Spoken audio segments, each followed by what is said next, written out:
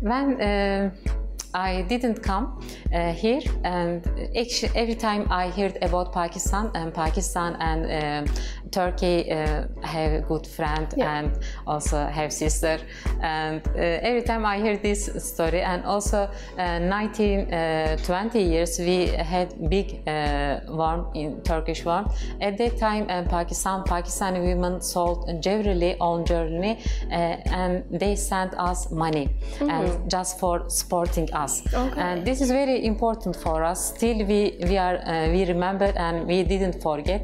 And when uh, I decided here, and I must uh, have. Um, taken permission uh, from my rector and when rec- my rector learned and i want to come here uh, she said okay for pakistan i will give you permission Oh yeah. Okay. So Pakistan has a really good reputation. yes Oh, yes and al- also after when i came here yes i saw this story is uh, um, actually truth and here in namal university my work director and general mohammed jafar and dg brigadier mohammed ibrahim my all colleagues every time ask me when you uh, need something please let us and we want to help you and you must feel like your home.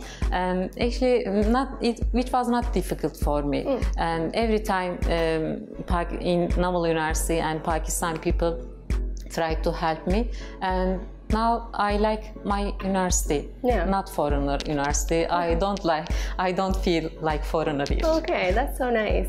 And uh, was there anything that surprised you about the country? Something that you didn't expect?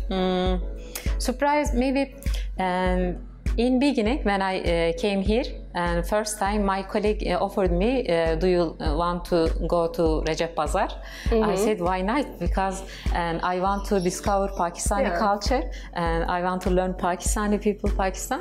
And i went to there and actually surprised at that time also uh, prophet muhammad hazrat muhammad uh, was birthday. Oh yes. and on, there uh, were many many